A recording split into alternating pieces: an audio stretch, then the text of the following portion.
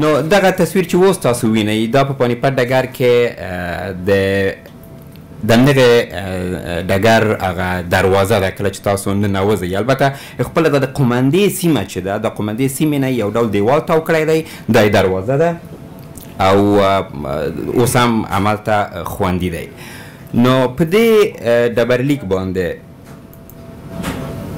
چې دا هغه انګریزي بڼه ده چې ما راواغیسته په دې کې د خپل د ډګر هغه لنډ تاریخ لیکل شوی دی البته د بابر او دا په دې ډګر کې یوازې احمد شاه بابا او د مرهټانو جګړه نه ده شوې په دې کې د بابر او ابراهیم لودي جګړه هم شوې ده د جلال الدین اکبر او د عادل شاه سوري د لومړي وزیر یا صدر اعظم هیمو ترمنځ هم جګړه شوې ده نو دغه ټول یو لنډ تاریخ په دې ډبرلیک کې لیکل شوی دی. دا ونه چې تاسو وینئ دا هغه د قومندې سیمه ده، احمد شاه بابا به د دغه ونې لاندې کېناستېده، البته دا ونه هغه ونه نه ده ځکه دا تقریبا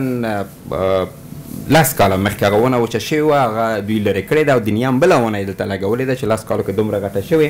او ویل کیږي چې دا ونه ډیره زیاته په تیزۍ یا چټکۍ سره وده کوي او په شلو کلونو کې به دغه دیوالونه چې تاسو یې شاوخوا ته وینئ دغه دیوالونه به دا پوښي البته دا دیوالونه هم د یو بل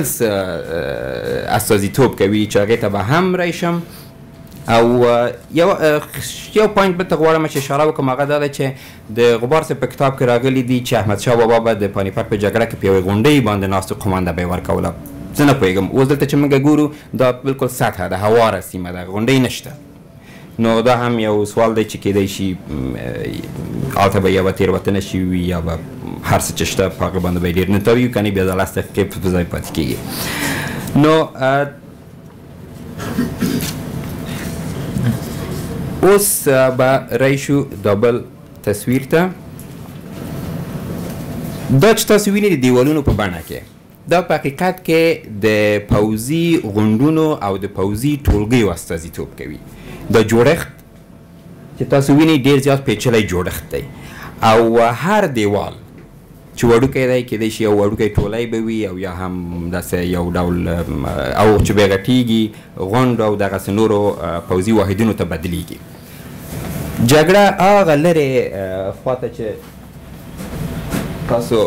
وینئ جګړه په هغه ځایونو کې روانه وه او د قومندې سیمه همدغه سیمه ده چې دا څلی تاسو وینئ او د څلي تر څنګ دا خپله ونه چې ده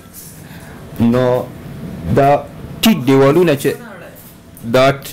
ټیټ دیوالونه چې تاسو وینئ دغلته د جګړې شورا هغه وار کونسل یا د جګړې جرګه غونډه به په همدغه ځای کې کېده نو په دې کې ښکاري چې څومره دوی تا په خپل مغه کتاب کې دا هم لیکي چې دلته دغه د لیکو د پوځیانو دا لیکه څومره پیچلې ده دا دوی سره داسې پیلي دي کله چې دننه تاسو وغواړئ ننوځئ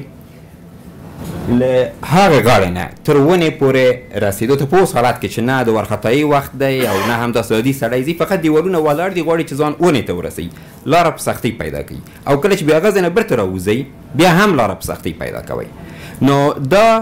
جوړښت مرهټانو ته او یا هم د دښمن ځواکونو ته دا بلکل ناشونی کړی وه چه دغه پوځیان مات کړي داسی چه ګوری داسی سره پییلی دی چه دا یو غونډی بولی که ټولګی بولی که دا ماتیده شاته دا بل ولاړ وو نو دوی نشوای کولای چه پرمخ لاړ شي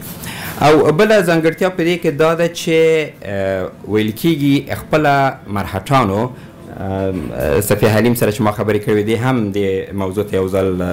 اشاره کړې وه چې مرهټانو به مخامخ برید نه کاوه مخامخ به نه جنګېدل دوی به اړخونو نه راتلل د پوځ دا اړخونه به یې ماتول نو بیا به یې پوځ ګډوډي جوړه کړه نو اوس دلته د اړخونو ته چې سړی وویني ډېر داسې پیاوړي او هغه جنګیالان چې دوی په جنګ کې تکړه ول دوی به یې ودرول چې تر څو دا اړخ مات نشي نو دې ته په پام سره داسې ویل کېږي، داسې سړی استنباط کولی شي چې احمد شاه بابا د دښمن په تکتیک باندې ښه ځان پوه کړی وي او دې نه یې بلکل معلومات درلودل او د دې سره سم یې خپله تابیا نیولې وه او ورته ځان تیار کړی و. نو دې نه وروسته دا ځینې انځورونه دي چې هلته جوړ شوي دي او په بېلابېلو ځایونو کې شته او دا د افغان ځواکونو او مرهټانو ځواکونو ترمنځ هغه اصلي ټکر خي د جګړه خو تقریبا څو میاشتو تقریبا کلونو لپاره روانه او بیل بیل ځایونو کې خو اصلي ټکر چې د جنوري په 14 باندې کیږي چې نن پرون د دغه ټکر انځور دی چې پکې توپچي ځواکونه، سواره ځواکونه او پلي ځواکونه دوی ټول ښوول کیږي. دا و د پانی پت ډګر. اوس که فکر کوم که تاسو ستومانه نه یی ډیر یو په زړه پورې بل ته ویاړ د افغانانو په حقیقت کې په هند کې په دیلی ښار کې پروت دی چې زه غواړم هغه ته هم اشاره وکم هغه د فتح پوری جومات دی له سرې کلا نه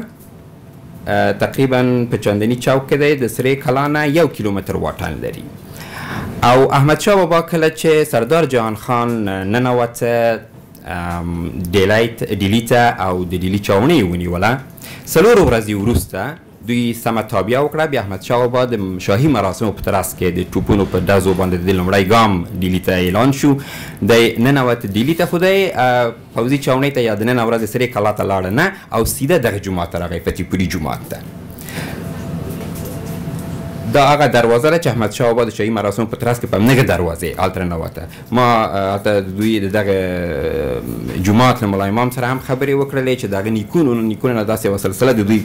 پاتې شوې ده په همدغه جومات کې. ده وویل چې دروازه نه ده بدله شوې، رقبه د جومات همغه ده، هر څه په جومات کې همغه دي، دا د جومات انځور دی. او احمدشاه بابا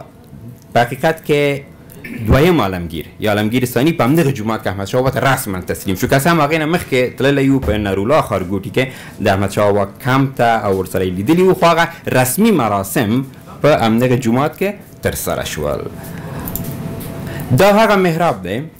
په جومات کې یوه بله خبره هیره مې نشي هغه دا ده چې بدلون یوازې په دې کې راغلی دی چې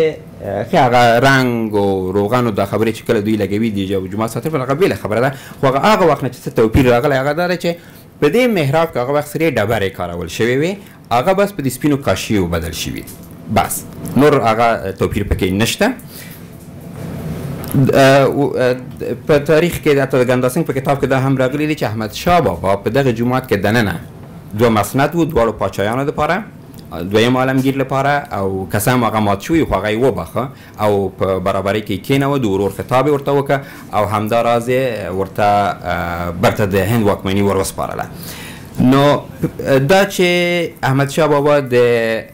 دې محراب دې غاړې ته ناست وو که هغه غاړې ته ناست وو دا ما ډېر زیات کوشش وکړ دا پیدا کړم خو په خواشینۍ سره چې هغوی ویل که زه باید لاړ شم هلته د دهلي موزیمونو ته هلته د هغوی نور تحقیقي مراکز دي که هغوی معلومات ولري نو هغې لپاره ډېر زیات وخت په کار او هغومره وخت ما نه درلود جنبش صاحب دیو دا نور نه پرېښودلم کېدای شي کله به دلته وو کله به هلته وو دا هم کېدای شي سړی نشي ویلی په هر حال نو یوه موضوع بله مهمه دا ده چې کله احمد په دغه جومات کې دننه دا معلومه ده چې دویم عالمګیر سره یې ولیدل هغه ورته تسلیم شو او د بیرته ورته د زړسوي له مخې هغه واکمني ورته وسپارله او له همدې ځینه په حقیقت کې هغه دستور ورکړل شو چې احمد شاه بابا د ښار د نظم لپاره دې لپاره چې چور ونشي دا نظ دا دستور ورکه او تقریبا شاوخوا ډېر د ده هغه چې په ننه ورځ کې مثلا هغه پوځي ځواکونه یا ځانګړي پوځي ځواکونه بولو چې هغه په هغه مهال کې دوی نسقچیان بله دوی نسقچیان بلل هغوی ور ولېږل چې د ښار نظم ونیسي او دې ته هم اشاره کېږي چې ولې ده دا کار وکړه ځکه چې د همدغه سرې جومات نه او د سرې کلا پورې چې د یوه کیلومتر واټن دی په همدغه کې په تقریبا شاوخوا دوه ورځو که درې ورځو کې د نادر افشار د برید په وخت کې یو سلو اتیش زره کسان وژل شوي وو مننه بارز صاحب ډیره مننه کور دی ودان البته دوی ژمنه کړې ده چې په دې برخه کې به نور هم کار کوي کېدای شي دوستان دلته او په هیواد کې یا تاریخ پوهان دغه موادو نه استفاده وکړي یو شی سړی ته ور یادوي چې موږ په افغانستان کې جګړې راباندې ډېرې راغلي خو د هېڅ جګړې نه چارواکو یې غم کړی دی نه ولس هېڅ یادګار نه دی پاتې وګورئ د پاني پت ډګر ټول هندیانو خوندي کړی دی په یادې لوحې او ځایونه جوړ کړي دي په دې ارزي چې په افغانستان کې هم لږ تر لږه د راتلونکو نسلونو لپاره د عبرت لپاره یې که د زده کړې لپاره یې دغسې ځایونه خوندي شي او کار پرې وشي کېدای شي دا ستاسې په وړاندیزونو کې راشي.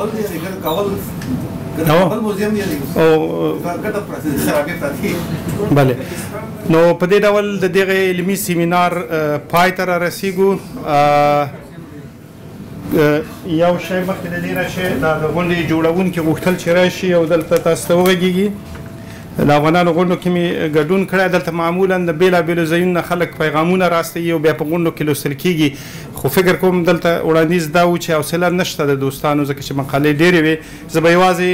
هغوی چې پیغامونه یې راستولي نومونه به یې واخلم نور به دوی خپاره کړي. پوهاند صاحب ډاکټر محمد حسن کاکړ له امریکا نه خپل پیغام راستولی دی. له کوټې نه بشیر احمد ریان په نامه یوه دوست پیغام لېږلی، له سویډن نه ډاکټر نجیب الله زاخېلوال، له امریکا نه ډاکټر رحمت ربي زیرکیار، له هالنډ نه افغاني کلتوري ټولنې، له ناروې نه د افغان ادبي ناستې غړو، له کوټې نه د لمر خپرندویې ټولنې، له هالنډ نه محمد آصف خواتی، له بلجیم نه افغان کلتوري بهیر، له جرمني نه د افغان کلتوري ودې ټولنې یو دوست قتیل زوی صاحب، له کوټې نه خان زمان کاکړ او په لندن کې د افغان ځوانانو د ټولنې پیغام رارسیدلی دی چې زه به ټولو ته کور ودانۍ ووایم.